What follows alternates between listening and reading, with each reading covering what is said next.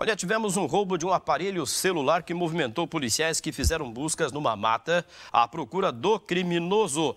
O crime aconteceu na rua Armando Balarote, no Jardim Portal de Versailles. A mulher estava saindo de casa, gente, quando foi abordada pelo bandido no portão da residência. Eita, lutou com o criminoso, hein? Que ainda roubou o aparelho celular, a bolsa com documentos e dinheiro. Guiados pelo GPS do aparelho celular roubado, amigos da vítima também entraram num matagal para tentar encontrar os pertences levados. Mas o local era de difícil acesso, não é? E nada foi encontrado. Um dos vizinhos da mulher roubada é da Bolívia, onde a população também sofre com a criminalidade e o tráfico de drogas. Ele comparou o país dele com o nosso aqui. Quer dizer que a coisa está feia mesmo, né?